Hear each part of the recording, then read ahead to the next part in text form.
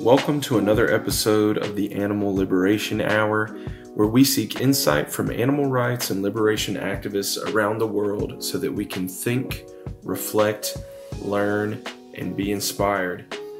It's season three, and we have a lot more guests for you to be inspired by.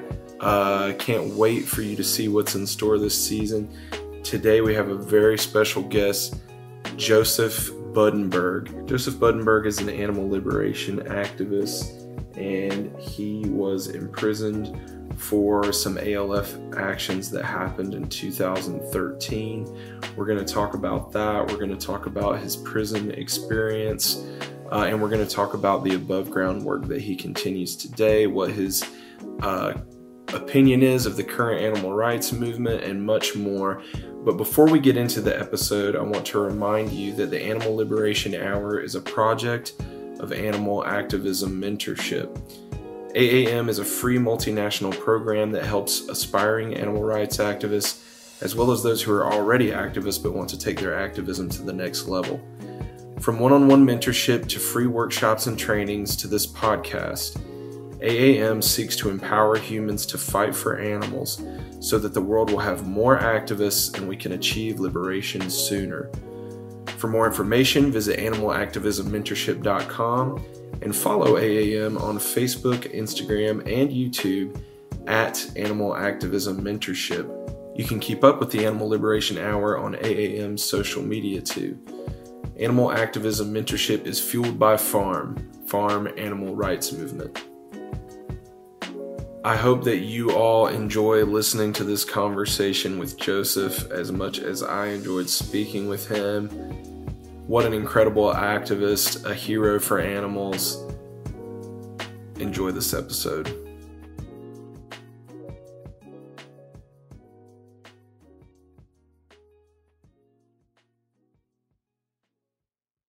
So, welcome everybody to another episode of the Animal Liberation Hour. Today, I have animal liberationist and animal rights activist Joseph Buddenberg. Uh, how's it going, man? Pretty well, pretty well. How about you? I'm good, man. I'm I'm excited that you're on today. Um, yeah, I just want to ask you, like, first of all, uh, I mean, well, you've you've had a, a long career in uh, activism You've been in the movement for a long time now. Um, so I kind of want to start from the beginning, just like what led you to veganism and animal rights? Was was there a moment like when you were young that kind of you know piqued your interest or piqued your compassion or something and led you led you down that road, or was there like one moment? What? How did you start down this path? Um, I got involved, uh, got exposed to like radical politics and animal liberation through like the hardcore punk scene. Uh, when I was a teenager, I was like really into like extreme metal music, and um, I had some friends that were into like vegan straight edge hardcore, and so we would trade CDs. And I'll never forget, my friend Shane gave me like a stack of CDs. It was like One King Down, uh, Raid, Hands Off the Animals, and Earth Crisis. And I always preferred like heavy metal music and in the metal scene, but uh, what I liked about this this hardcore music that I was shown was that you know it wasn't just about being an outcast for outcast's sake. It was more about like making the world a better place and seemed to have like a real a real message around changing the world. Uh, you know, earth liberation, animal liberation were themes that were pretty present at that time. Yeah. So, what was it about that music? Was it like the community, or was it the the lyrics of the songs? Like, what kind of sparked your interest there? I think the I think the lyrics just being so um, so sort of extreme. Like, you know, they talked about animal rights, but it wasn't necessarily like from a from a perspective that would have turned me off. It was it was like it appealed to like you know us outcasts like it was it was very uh it was very intense it was very militant they were talking about the animal liberation front they were talking about economic sabotage you know? And I, I mean it caught me very young so i was like i was just trying to learn everything i could about this scene and about this music um so started like just looking on the internet, reading about the Animal Liberation Front, and learning about like different sorts of tactics and uh, you know more militant, more militant tactics. I felt like we're we're very at the center of of that scene at that time. So when you started listening to this kind of music and presumably like going to some of these shows and stuff, um, were you already like vegan or vegetarian or something, or was this all like brand new? I was not. It was all brand new to me. Like I had no idea what was happening to animals. Um, I sort of grew up, uh, you know, fishing, just eating meat, not really thinking about it. And so, you know, to be told through these lyrics that I was like part of a system of oppression and injustice I think really made me think, you know. And as a kid, you're you you know, you're not as enculturated into those systems of violence. So it uh it really affected me in a deep way. How old were you during that time? Uh, I was like 16, 17 when I first got exposed to this stuff. Okay, wow. And where was this? I grew up in Virginia, mm-hmm. Virginia Beach. Okay, cool.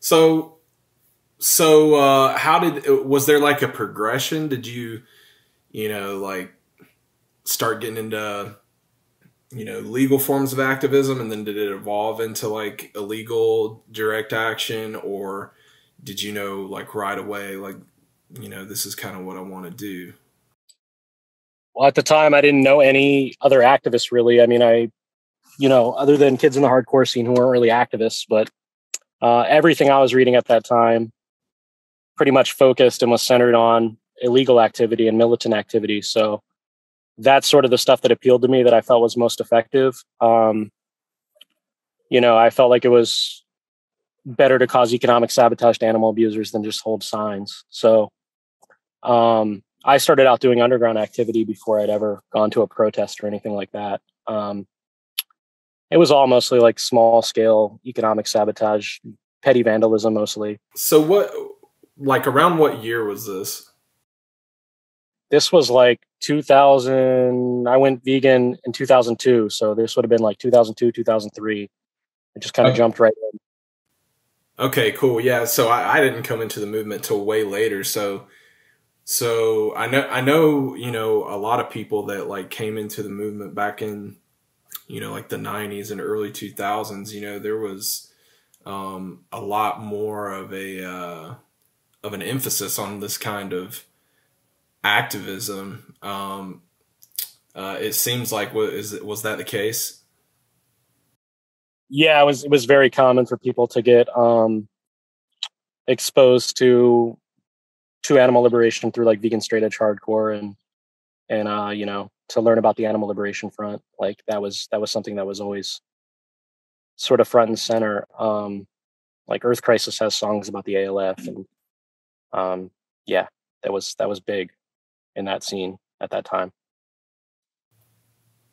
So you said you said you started out kind of with some uh, small scale stuff, and um, what kind of uh, process took place to end up, you know, going in the direction you did, which was, you know, like mass liberations it was a it was a very long, slow process. So, um, you know, 2002, 2003, I was doing, you know, my first illegal activity for animals, which was, you know, maybe throwing bricks through windows or you know glass etching solution on windows things like that more small scale economic sabotage that i felt like you know wasn't i always wanted to build up to large scale liberations but the problem was that i always I always felt like there were too few people to work with.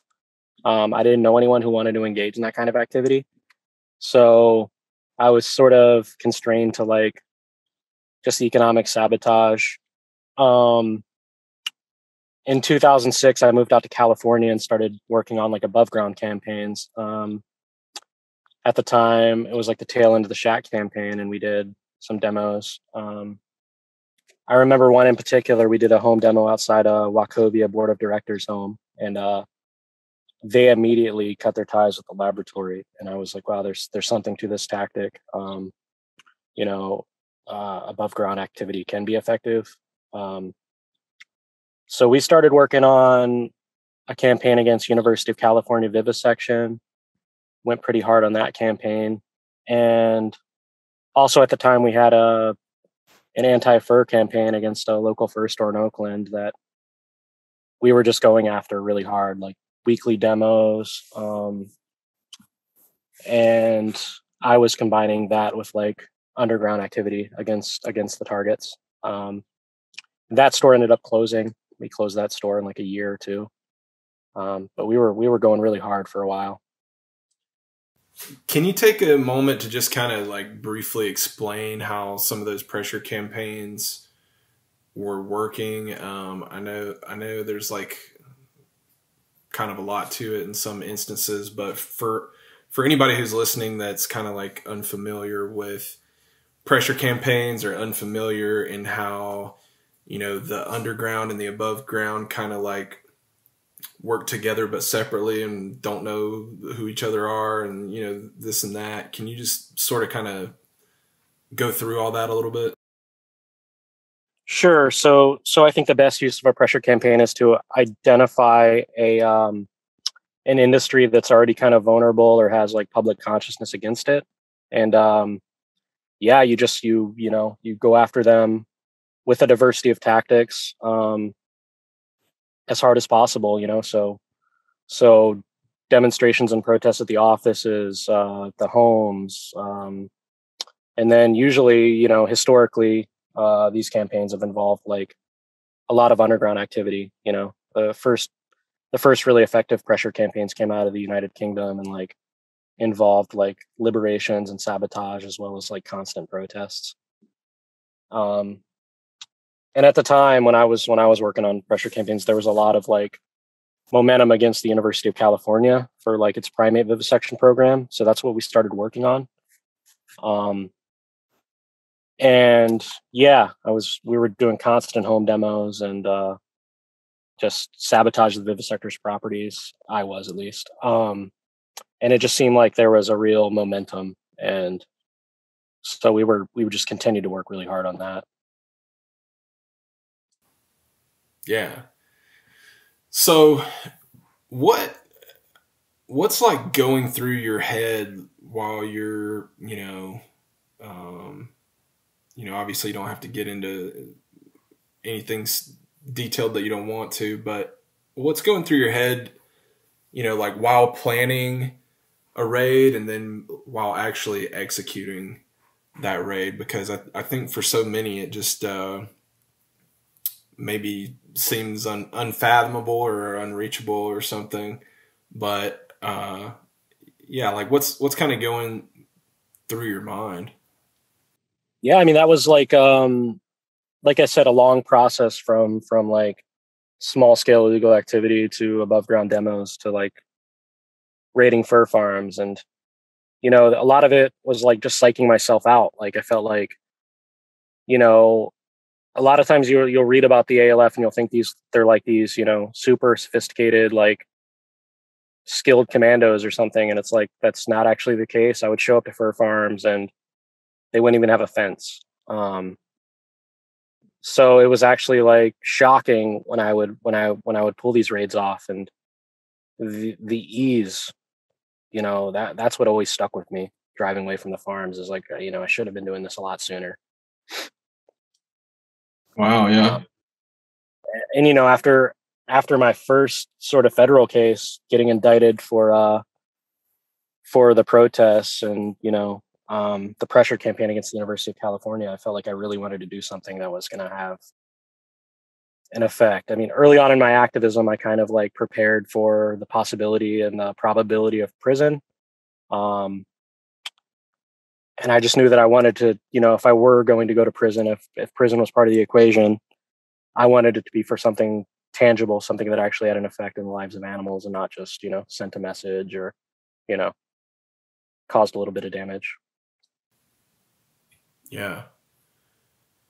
Yeah. Um,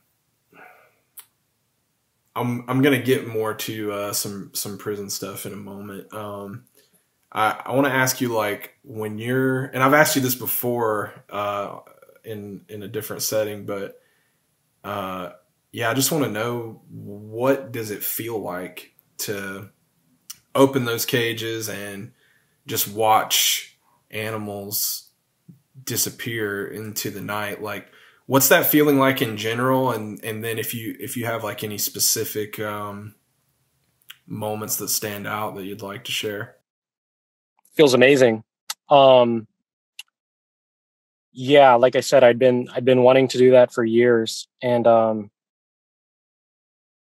you know it's it's it's sort of the culmination of everything we believe in as as vegans or as activists um you know to literally take an animal out of a cage and and give him and her a new life is is a beautiful thing. And um you, you know the you know i'll always mark those memories you know those are those are my greatest memories. Yeah. Is it is there any is there any um anything specific that stands out like one night in particular? Oh i remember um i remember reading uh rating this tiny farm in minnesota and um you know it was it was right along a creek. And so as soon as i open the cages the animals come flying out and just swim away um and there was this sort of profound feeling that like you know these animals are not going to get recaptured this is going to be you know a new life for them um I knew that the recapture rate was going to be very low and that, you know, I just saved hundreds of lives in a matter of minutes. It was an, it was an amazing feeling. Yeah, I can I can only imagine what, what that must feel like. Um so how you know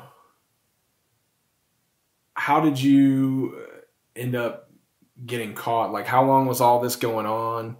and then and then what happened when you got caught? So these fur farm raids occurred in 2013 from the summer to the fall. Um, you know, in like November um, is pelting season, November, early December. Uh, so every every animal in every fur farm is is killed for their pelts. Um, so we continued towards the end, towards right before the end of the, or right right before the beginning of the pelting season, and uh, you know, I think I think the count was ten fur farms getting raided. Ten fur farms got raided in that season, um, and I wasn't indicted until a couple of years later. Uh, unbeknownst to me, there was a huge federal investigation. They spent millions of dollars. Um, yeah, they, they they had searched my co-defendant's house and found you know some fur industry literature and uh, pair of bolt cutters and things like that. You know, so it didn't take it didn't take too many leaps for them to uh, to indict us on a charge of conspiracy. I was never actually charged with any of the raids because I don't think the government could place me at any of those at the scenes of any of those farms.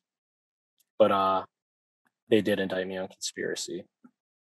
Yeah, can you talk about that charge a little bit? I, I know a lot of uh, like ALF and ELF activists. You know, when if you if you do any research into their cases or just listen to their accounts, you know, you'll hear that word a lot, conspiracy.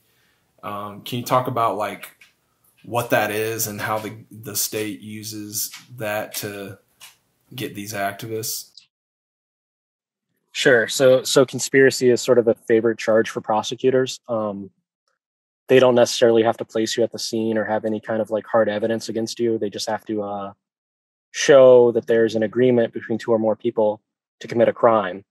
And you know, when you have a charge like animal enterprise terrorism that is so like vague and just sort of like a designer statute for these industries, you know, they can almost say that anything was was part of a conspiracy or evidence of a conspiracy. Um, in my case, they used you know the fur industry literature, the tools, and uh, some like some some animal liberation literature that they had found. So, for those that don't know, like how how are they able to uh, tag a non-violent activist uh, under a category like terrorist? How's that possible? Oh, I think it was a long process for the industry to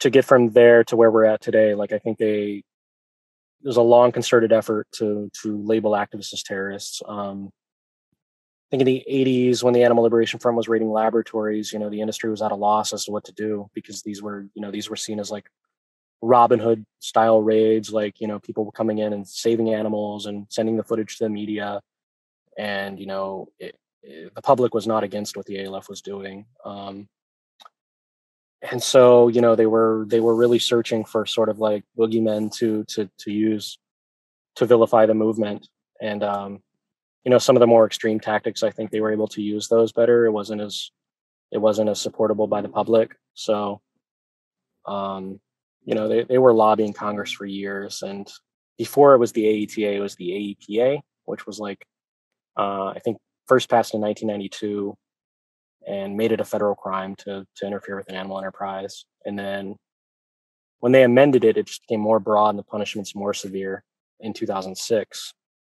And where I was indicted under the AETA 4, the, the AETA 4 case, um, was the first arrest under the Animal Enterprise Terrorism Act. So we were sort of like the test case to see how far the law could go. Um, we ended up getting that case dismissed. Uh, it got thrown out just for like vagueness and you know the judge said you can't do this you can't just charge someone with a with a crime that you know when you're not alleging anything criminal because uh, in that case it was just home demos and chalking sidewalks that's what they were trying to say was terrorism wow you know uh, 9-11 happened when i was in seventh grade and i remember sitting in uh, my science class and I I'm guessing it had already happened. At least the first tower had already happened, and you know they were showing the replay on on the news, and you know our classroom kind of paused what we were doing, and we watched this thing that was happening. Um, and I don't even know, I don't even know if that first time I saw it, if if I knew that they were you know terrorists or whatever. Um, you know, or if it was an accident or you know what. Um, I just remember seeing it on TV, and then you know later hearing that it was you know terrorists and uh, all this stuff. But um, you know, remembering the kind of effect that word had on me when I was in you know middle school and you know in my mind then you know thinking of terrorists as people who kill other people. Uh, you know, um, just later on getting into animal rights and hearing that same word used to describe, you know, a, non- a non-violent activist, it just blows my mind. I, I'm just wondering, like, what it's like for you being labeled as that, being labeled um, by the state as a terrorist. What what's that like? Uh, it's surreal and Kafkaesque, and it constantly comes up in my life where I'll be detained. Um, actually, just got arrested last weekend, and like the arresting officer had to uh, call the FBI, and he was on the phone with the FBI or Department of Justice for like an hour or two, trying to figure out what to do with me. And um, so it's yeah, it's surreal. It's you know, it's it's crazy. I I once had a cop detain me with his gun drawn because he saw the terrorist warning that comes up when he runs my license plate. And uh, you know, when he got to talking to me, you know, he's like, "What is this terrorism thing?" I was like, oh, "I was convicted of animal rights activism, essentially." And his demeanor just completely shifted, like from being super aggressive to just being completely calm, like just like that. And um, you know, so it's it's a weird thing, man. It's it's it's definitely weird to be to be called a terrorist for for advocating for animals and for saving lives. I still can't. I still have a hard time wrapping my head around it today. Yeah, that is hard to. Uh, I can. I mean, I can only imagine uh, having that tag. Um, you know, obviously, fur farmers are terrorizing these animals. I mean, what these animals go through. Can you just talk about what, what animals go through on on fur farms? So, animals on fur farms are confined to tiny wire cages their entire lives. Um, they can't even turn around. These are genetically wild, um, native wildlife. Um, and you know they're they're just living in a cage, awaiting a death by means of gassing or anal electrocution. And I mean, I, I recorded some undercover footage at a fur farm last year, and it, you know the industry has not changed at all. It's it's just as disgusting and atrocious as it always has been. Um, yeah, animals just confined to to tiny wire cages, and you know they they they're just trapped. They're everything wild to them, everything natural to them is just taken from them. Yeah, and other than other than the law, which you know would punish someone for for doing this, who wouldn't who wouldn't want to open the cages if they came across something like that, uh, animals in this situation. That does not seem like an act of terrorism. It obviously seems like an act of bravery and compassion and common sense, even just, you know, like animals, they, they're the ones being terrorized. Absolutely. Yeah. Um, so yeah, can you can you tell me uh, what it was like once you got caught and what ended up happening? How how you know how long were you? Uh, how long of a sentence did you have? How much time did you serve? And uh, what what was your prison experience like? So as I said, the fur farm raids occurred in 2013. I wasn't arrested until the summer of 2015. Um, so it was like a long federal investigation. I was arrested by like 10 FBI agents, um, released on house arrest, uh, facing 10 years in prison. Um, spent like six or seven months, you know, waiting through the court system. Uh, ultimately, me and my co-defendant decided that it was best for us to take a non-cooperating plea deal um, and plead guilty to the charges and I ended up getting sentenced to 24 months, and she got sentenced to 21 months. And uh, served served my times served my time at prisons all over uh, United States. Really, they they they shipped me around a lot.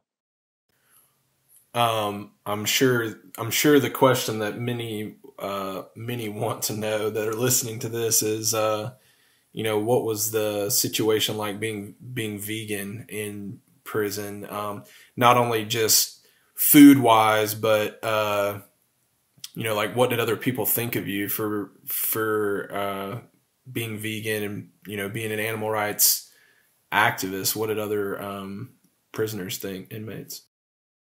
Oh, they mostly thought I was insane. They mostly thought I was crazy.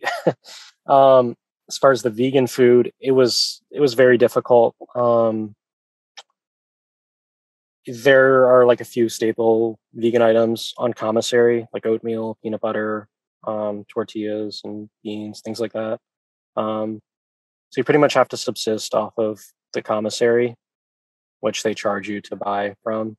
Uh, so some outside support is necessary, but fortunately we had political case, so there was a lot of outside support. Um, in the dining hall, there is a meatless meal at lunch and dinner but it's often not vegan. It's just vegetarian, so you can't really eat that. Uh, they had like the most disgusting veggie burger I'd ever seen. That was like served pretty often, and so whenever I went to the dining hall and that was on my plate, I'd always get made fun of by the other prisoners. So it definitely, definitely made you know made me a laughing stock in some ways, being staying vegan in prison. Yeah, I mean, was it like a laughing stock, like it was kind of funny, or was it was it like a serious thing? Uh, I mean, they were just teasing me. They were just making fun of me. Yeah, they didn't they didn't have any serious beef with me or anything. Oh, okay, cool. Um, yeah, I hear I hear different things from different people who have been in prison for stuff like this. You know, some people say that the other inmates are, you know, like really respect the heck out of them for you know like doing something they believe in and others you know have have issues with with people did you ever did you ever like fear for your safety in prison or was it mostly okay in that regard um mostly okay. Everyone's pretty respectful. When you first enter prison, you have to show your paperwork. So you gotta you gotta prove to them that you're not like a snitch or a sex offender. Those are the two things they're really concerned about. Um, and once you once you show them that, they pretty much leave you alone and they respect you. Um, there were a couple sticky situations where you know it felt like I didn't necessarily know all the convict rules and maybe I'd have to fight, but ended up avoiding that and ended up being fine. Did the uh, did the terrorism label uh, affect you at all in in prison? Did anybody have any questions about that? Maybe you know, maybe suspicious of you because of that. The staff, the staff mostly uh, had a problem. They would like hold my mail. They would, uh, you know, they would mess with me. They would find certain ways to mess with me that they wouldn't do to a normal prisoner. Um, so like they'd have to scan all my incoming and outgoing mail because of some Department of Justice regulation. Um, and during transfer, they would throw me in solitary confinement, and then I would ask them like, "Why? Why am I in solitary?" And they would say, "Oh, you're a terrorist," you know. and you're sort of going in circles with them like hey can i talk to the captain can i talk to the warden about this like i'm not actually a terrorist it's just my charge on paper and you know you pretty much get nowhere so it sort of follows you throughout your prison sentence it's a it's a pretty heavy thing how long would they keep you in solitary confinement for um when i got transferred at oklahoma city federal transfer center i was there for like two weeks um, oh my gosh no books, no mail, just sitting in a cell. Um, yeah, and then yeah, I had I had some longer stints in solitary um, because of like issues I had with with some of the other prisoners. How did you How did you get through that? Like, what do you if you have no books or no mail or anything? Like, how do you? I mean, it, it must just seem like a, a a time warp or something. Like you don't know how much time's passed. Like you don't really know how long you've been in there i guess maybe um, how do you how do you mentally just push through and survive that time in oklahoma city was the toughest time because like i said no no books no mail no sort of connection to the outside world but uh the longer stints i did in solitary were uh i was able to receive books from the outside and was able to receive mail and you know so that, that made the time a little easier uh, had a cellmate. So um, the federal system they've outlawed like it, it's still called solitary confinement because you're locked down and you can't leave your cell, but they've outlawed single cell solitary confinement because of like you know some some scandals and some lawsuits. Um, yeah, it's difficult. I mean, yeah, when when you can receive books, you just you devour them. You you read as much as you can. You work out. You you find ways to to manage and to get through it. So, would you say that uh, all that you went through with with the prison system and uh, going through sol- solitary confinement, going through, um, you know, what you still go through to this day, which is having a terrorism label uh, on your record, would you say that it's all worth it for what you accomplished? yeah, it was absolutely worth it. But you know, not to say that I wouldn't go back and change things if I could. I mean, mm, it's good. It's important to keep in mind that like most people who who utilize ALF tactics and you know do not get caught. Um, you know, I, I made some mistakes and I got caught, and so you know, it, but it was worth it. I mean, I saved thousands of lives and yeah, I just I felt like that was you know that was the only thing that I could have done under those circumstances. You know, I uh, investigated fur farms and I found animals in complete suffering, and so I, I couldn't have done nothing. Yeah. Can you? Yeah, you you talked a, a second ago about you know just like devouring these books and letters when you would get them. Can you um Can you talk about the importance of um, support for political prisoners? Absolutely, yeah. I mean, um, you know, those times when I would receive letters, uh, you know, reading and writing letters were really my escape from prison. Um, I would get like beautiful postcards. You know, people would tell me about their, you know, the hike they went on or their road trip they went on, and you know, you could just envision freedom, and you weren't, you know, you were kind of outside of your barren cell for at least that time that you're reading that letter. Um, yeah, and then just books are essential. I mean, you, the, the time in there is it it it passes in a in a much different way, and um, just any kind of stimulation and activity is necessary for prisoners, and we we need to be doing more of that for our prisoners. How was it for you? Did you did you have like one particular person on the outside who was advocating for you, or or did you have a a team, or or were there um, did people just find out and kind of naturally uh, support you, or how how did all that kind of work for you while you were on the inside? Uh, I had a movement lawyer and a support team that were kind of advocating for me with a website and social media presence. And, but you know, a lot of people would just find out about my case through the website or social media and start writing to me. And those were some of my favorite like letters, and those were some of my best relationships that I formed. Um, and then like as soon as the book list would go up on the website, uh, you know, it'd be I'd get the books within a day or two. So, you know, the support was the support was amazing you know, it was uh I can't even I can't even speak to that. Like that was that was just above and beyond.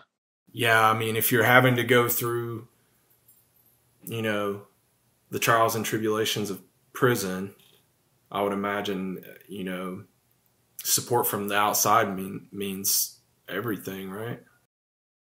Absolutely. Yeah. I mean, I have, you know, I received thousands of letters the time I was in, and you know, it was just it was too much mail to even respond to. It was uh, the support was amazing. The support was incredible, um, and that's something that every every sort of movement prisoner deserves. Um, yeah, there's uh, if people do want to write to a prisoner, there's Marius Mason. He's got a few years left uh, on his sentence, and then uh, Joseph Dibee just pled guilty and he'll be sentenced uh, I believe this summer he'll start serving his sentence probably later this summer, July or August. Yeah, we'll we'll put that in the in the show notes for sure. Um, so if people want to support, they they'll know how to find that information.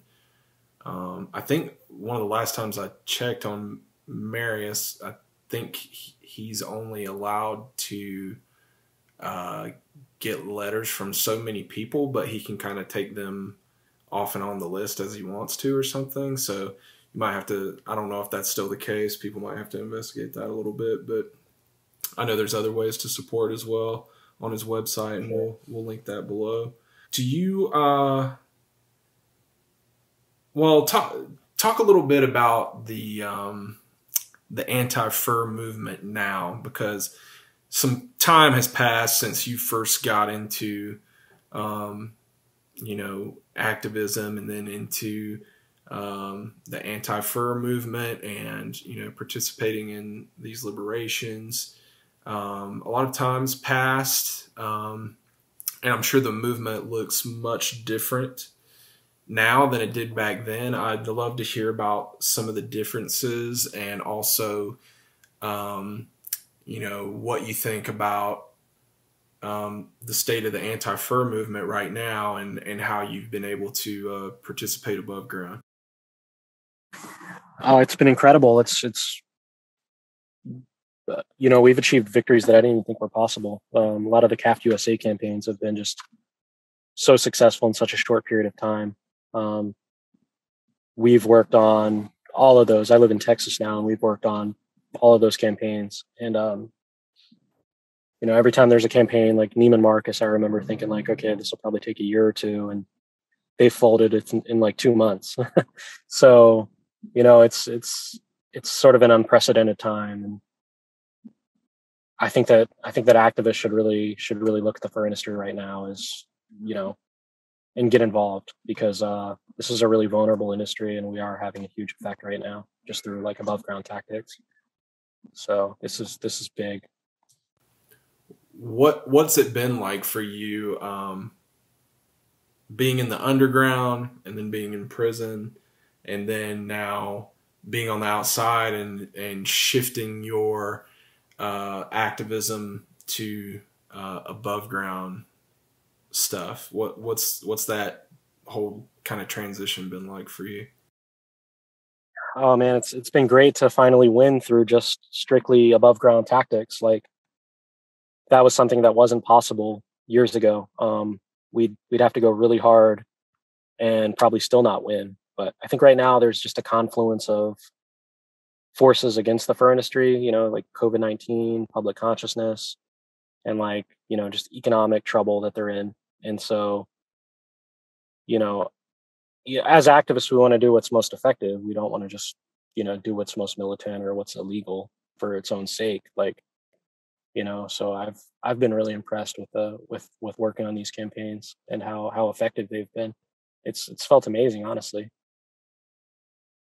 Yeah, I know. Uh, last year there were um, there were all the CAFT victories, and then there were victories outside of CAFT that like you know may or may not have sort of been related. You know, kind of like uh, Canada Goose went down around the same time as Neiman Marcus. You know, some people think, well, you know, Canada Goose sold some of their stuff inside Neiman Marcus, so maybe they knew Neiman Marcus was about to go fur-free, so maybe they saw the writing on the wall. You know, there's that kind of stuff.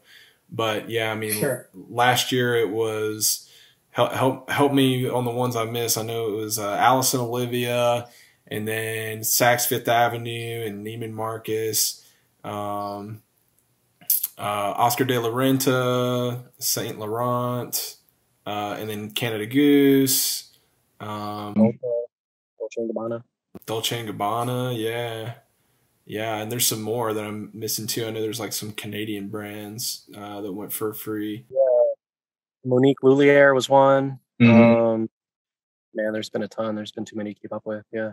Yeah, it's like it's hard to even keep up with. Uh, you know, I thought we'd still be on Saks Fifth Avenue right now, but it's it's gone so quickly. It's unbelievable. Um, and can you t- can you talk a little bit about the um, the current campaign against LVMH, uh, which is Louis Vuitton Moet Hennessy, who uh, you know is the uh, conglomerate that owns Dior and Louis Vuitton and Marc Jacobs and um, you know a lot of these other companies. Can you just talk about that campaign right now? I know it's probably like the biggest challenge yet. Um, I'd love to hear how you've been involved in this campaign so far and kind of what it's looking like out there.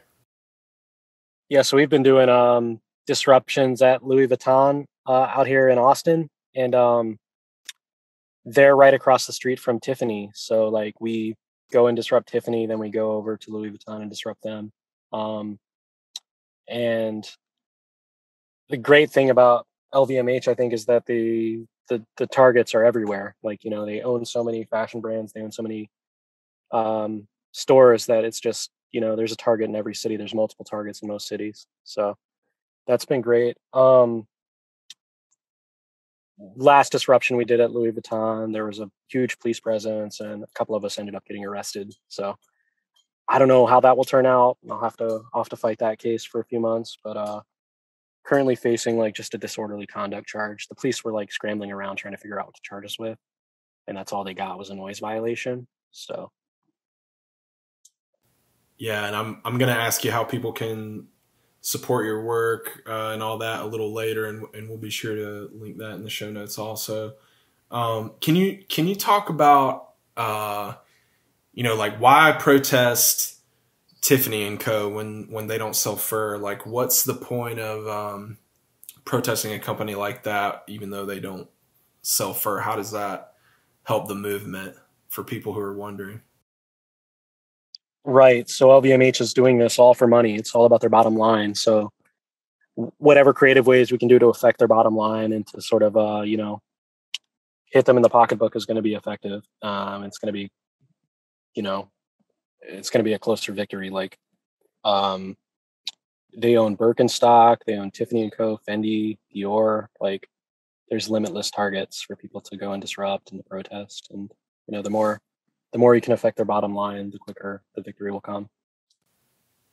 So basically, even even the companies that LVMH owns that are not selling fur, it's it's basically still beneficial to protest them because they're still under like the LVMH umbrella, I guess.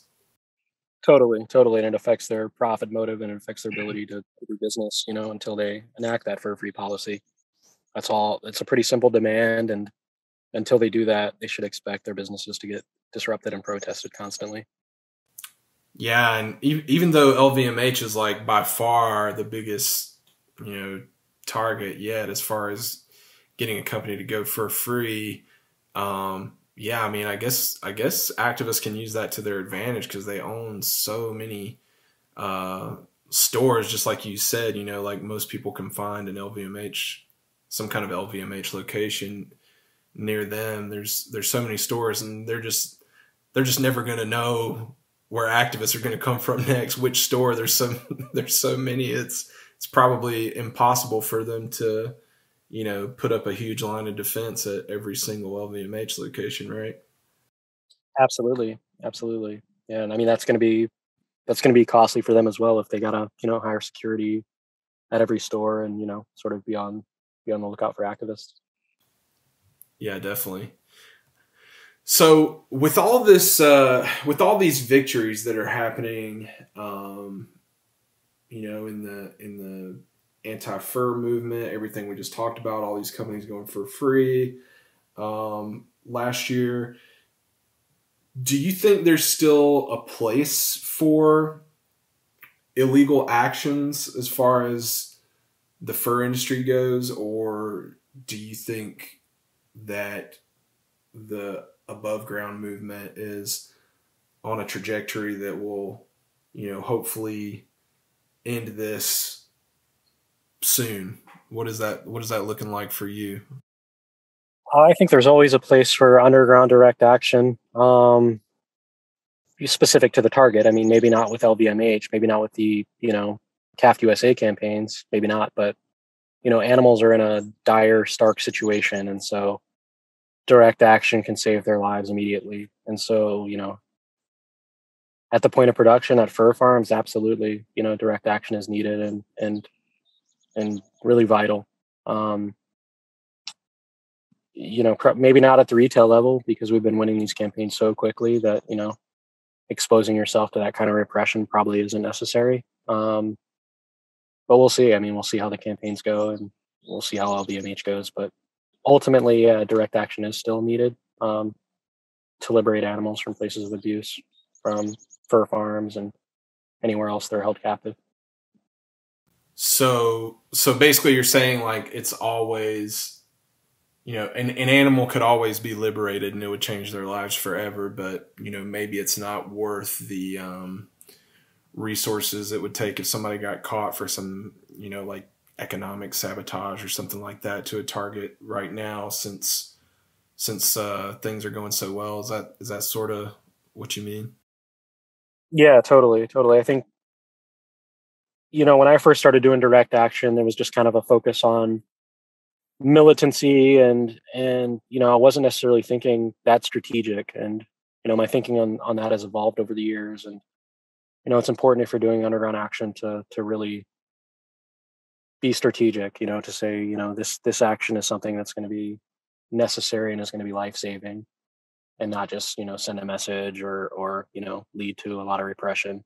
Um, so I think at the at the retail level, it's not needed yet. But uh, yeah, I think I think that animals always deserve to be liberated and need to be liberated. Yeah. Um. So we talked a little bit about uh, prisoner support, political prisoner support um, earlier. Can you talk a little bit about how that might extend into uh, after a prisoner is on the outside because I know I know a lot of times for political prisoners, you know, like the the support kind of drops off once they're out, but you know when when they do get out, there's still a lot of uh, you know obstacles, especially if you're labeled as a terrorist or you know something like that. Can you talk a little bit about um, the importance of that and maybe like any support that was provided for you that was really beneficial so that you know people might know how they can support others that are transitioning and and uh, yeah and also obviously like you're continuing to do activism and and need support in that way as as well. But yeah i would just love to hear your take on all that.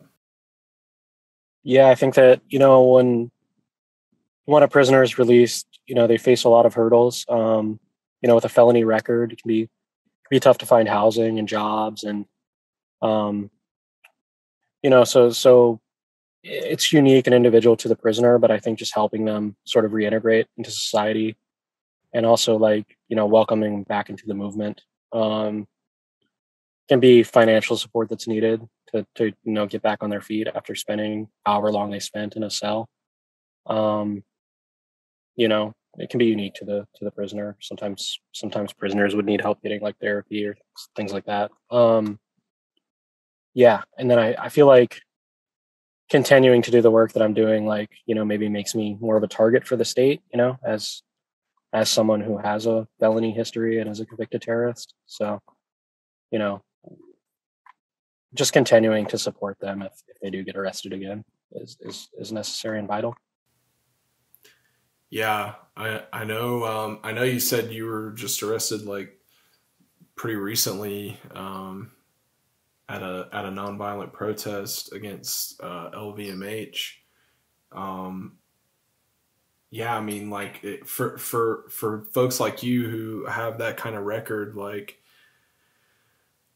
is it is it riskier to do activism? I mean, just even if it's above ground, like, you know, like what what how are you kind of navigating that whole world? Uh, it can be. I mean, I think in the event of like sentencing or you know if if I were convicted on anything, they would go harder with sentencing. Um, yeah, I just try to just try to keep the actions completely, you know, safe and and and legal. Um, yeah, I'm currently facing two charges. So I got a I got a criminal trespass charge from YSL back in September of last year. Um, got arrested at a protest right before they went fur-free. Uh, so I don't know what's going on with that charge. I still don't have a court date. The court system's moving pretty slow. Uh, there's a chance I might get dropped, or there's a chance I might have to, you know, pay a fine or do a little time in jail.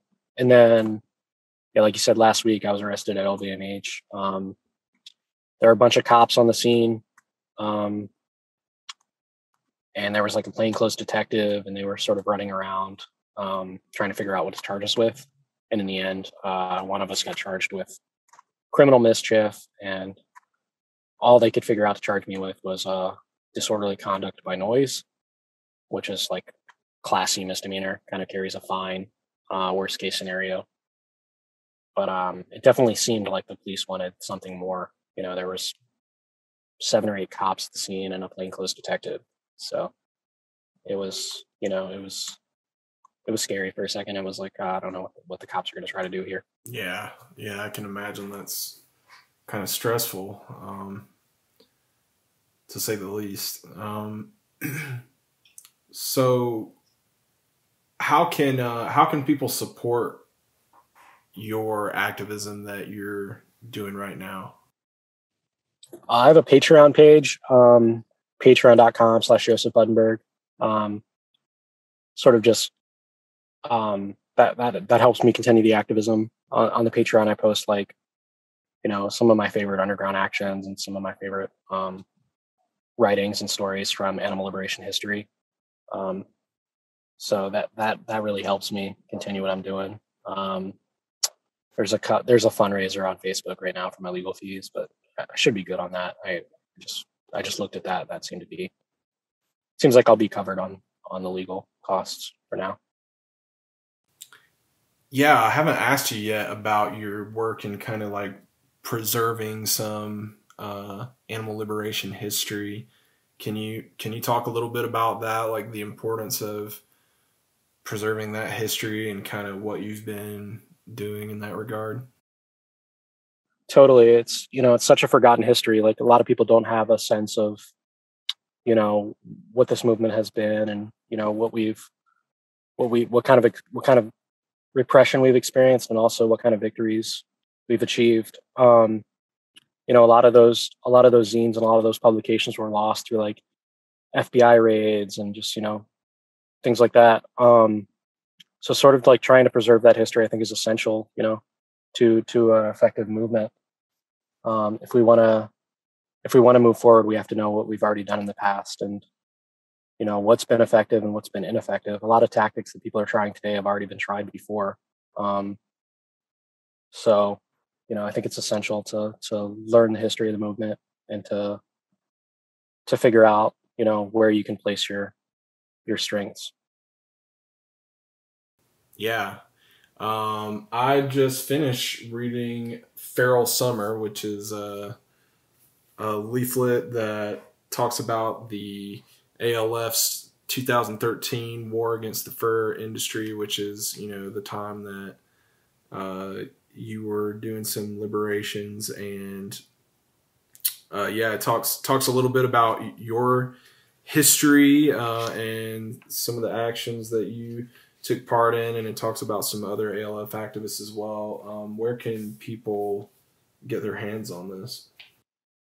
Um, they can get in touch with me through Patreon or through Instagram. Um, my Instagram handle is Joseph Buddenberg. Um, so yeah, there's plenty of ways for them to get in touch with me, and I can send you a copy. Um, yeah, it's important to keep in mind that like hundreds upon hundreds of thousands of animals have been liberated by the Animal Liberation Front. Like this is often the animal's only hope, and it's like the most effective route um, for activists to take. And so preserving that history is is you know huge for me. Yeah, yeah, I think I speak on behalf of a lot of people when you know I say we appreciate that you're doing that. Um, all right, so if you were in a room full of brand new animal rights activists right now, um, and you were able to give them some important advice, uh, what would that advice be? Um, just leverage your strengths. Look at what you're good at, and try to try to try to be as effective as possible. Um, don't waste time. Don't do what feels good. Um, you know, try to figure out what's most effective and what's most strategic, and move towards that. Um, I think a lot of times in, in activism we do what feels good. Um, and this is true of like the underground and above ground. We do just what feels like cathartic and uh, you know what what what's going to make us feel better. Um, and I don't think that's the way we should be looking at it. We should be looking at what's most effective and what's most strategic. Um, exercise good security culture and yeah, read about the history of the movement. Yeah. And by the time this airs, you'll have done a uh, security culture workshop through animal activism mentorship, and we'll link that below as well. That'll be on the animal activism mentorship YouTube. Um, can't wait for that. Um, man, I appreciate you so much for taking the time to come on here and uh, chat. I've got so much respect for everything that you've done and continue to do, and um, you know, not not only are you doing all this activism, not only have you saved you know thousands of lives and all that. But you know, I've seen you support other people who need help and everything like that. Um, it's it's it's an honor to know you and have done activism with you and to get to talk with you today. And I can't wait for people to hear this, man. I appreciate everything you do. Appreciate you, Trey. Yeah, thanks for having me.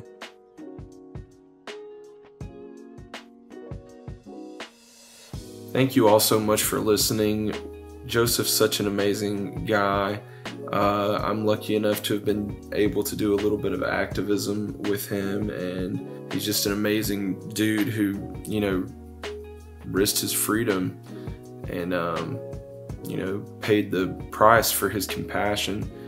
Um, he's just a courageous, brave, heroic activist. I hope that you will check out our show notes and support his above ground work through his Patreon. Uh, that keeps him going. We hope that you'll also rate and review the podcast. It helps others find it more easily, and the more people that find it, the more people can be inspired by the guests interviewed on our show, like the amazing Joseph Buddenberg, and hopefully we can turn that into actionable change for the animals. If you enjoy the Animal Liberation Hour and would like to support our work at Animal Activism Mentorship, please consider joining our Patreon for as little as $2 a month if you're able to do so. This goes such a long way in helping us grow the animal rights movement through mentorship. Don't forget to follow us on Facebook, Instagram, and YouTube at Animal Activism Mentorship, where you can keep up with the podcast as well as everything AAM. One more reminder that you can sign up for a free mentor to help you with your activism at animalactivismmentorship.com. If you needed a sign that you should be an activist for the animals, this is it. I also want to remind you about some of our upcoming uh, in person events that Animal Activism Mentorship is hosting. On July 29th through August 7th, we will be having the AAM Chicago Convergence 2022. That's 10 days of action against the fur industry, and we're going to be taking action uh, against animal agriculture as well.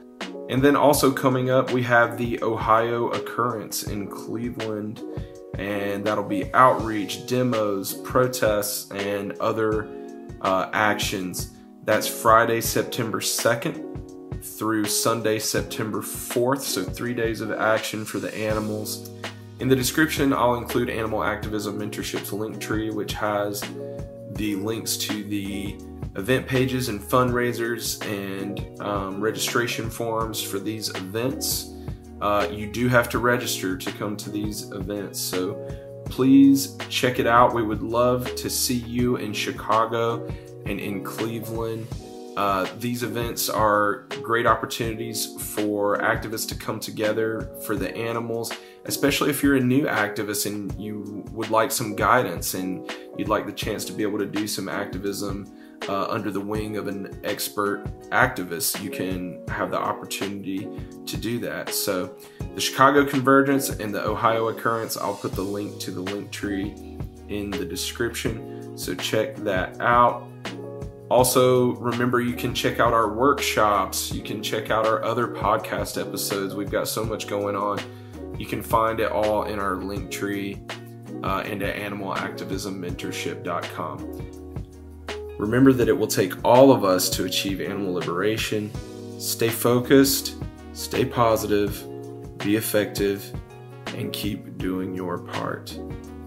Until next time.